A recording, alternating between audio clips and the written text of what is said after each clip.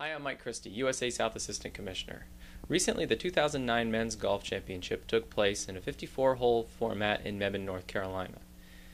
Before we take a look at tournament highlights and hear from our champions, here are the 2009 USA South Men's Golf All Conference Award honorees.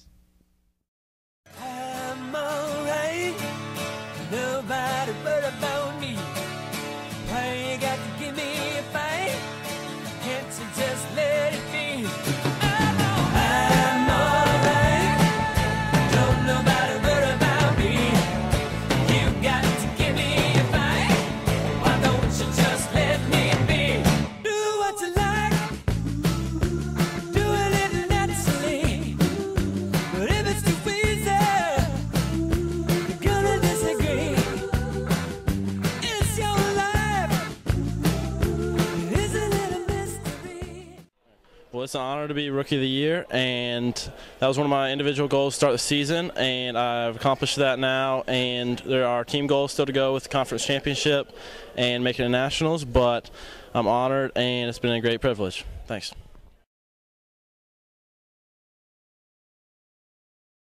I just like to say that I'm very honored to be golfer of the year. Uh, it's very tough competition this year. It was very stiff all year. Um, I just grinded it out as much as I could, and thanks to Coach Conley and the rest of the team, that's, that's the reason why I'm standing here.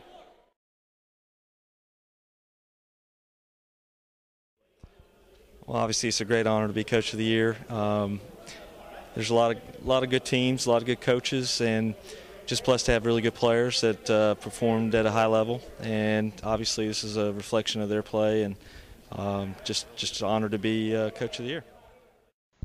The 54-hole USA South Golf Tournament saw Methodist University take an early commanding lead, a lead that they would never relinquish over the three-day tournament. Here in the 18th hole of the final round, Jake Pluskowski from Methodist University tees off on the left side of the fairway. Pluskowski would end up finishing tied for fifth. One of the golfers that also finished tied for fifth with Pluskowski was Brock Elder, here from Greensboro College, finishing his round. Also concluding his tournament Methodist University's Matt Bova taps it in, and he would finish second. Kyle Schnaffner from Christopher Newport University gets this tap in on the 18th green and congratulates members of his foursome Nathan Daly from Averett, Brock Elder from Greensboro, and Matt Bova from Methodist.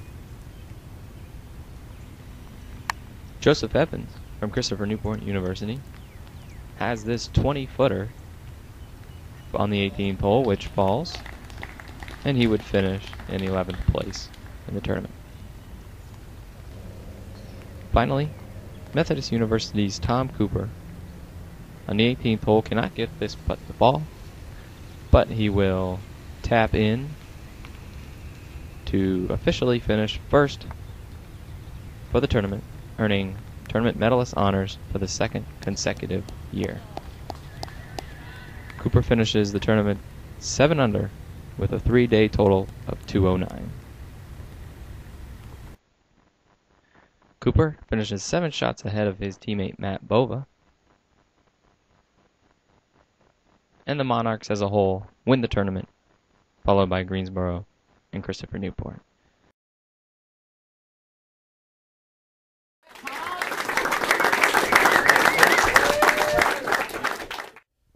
Uh, well, I'm very obviously very happy to have won. Uh, even more happy that our, our, team played well enough to uh, win this week.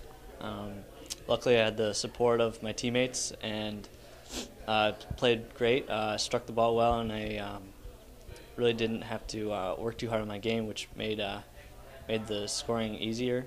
Obviously, um, very happy that we made a good showing, and I hope that the guys can come back next year and play well again.